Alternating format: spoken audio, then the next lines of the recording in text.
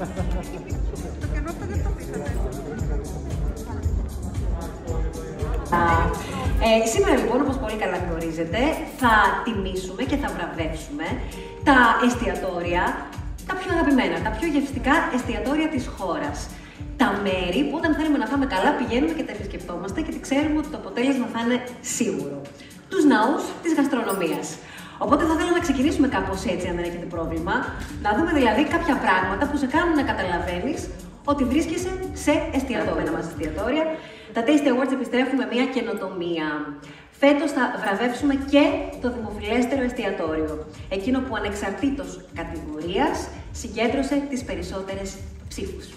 Πάμε λοιπόν να ξεκινήσουμε με την πρώτη κατηγορία, που είναι η κατηγορία Modern Creative.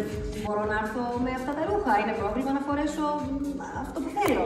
Και σου λένε όχι, έλα όπως θέλεις, ελάτε και με φόρμα, δεν υπάρχει κανένα απολύτως πρόβλημα. Α δούμε τα τρία δημοφιλέστερα εστιατόρια της κατηγορίας. Υπέροχα και ας υποδεχθούμε για την απονομή τον κύριο Ηλία Ιμπέρη, Brand and Media Manager της εταιρείας Vicos.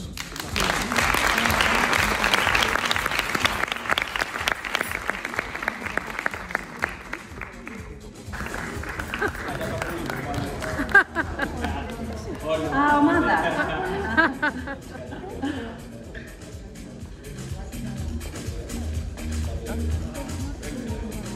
Θέλετε να πείτε κάτι;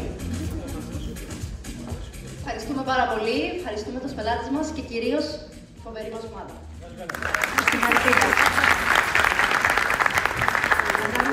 Ελάτε, παρακαλώ, ελάτε. Ελάτε. Χωράμε. Χωράμε. Ελάτε. Στη φωτογραφία. Πάμε.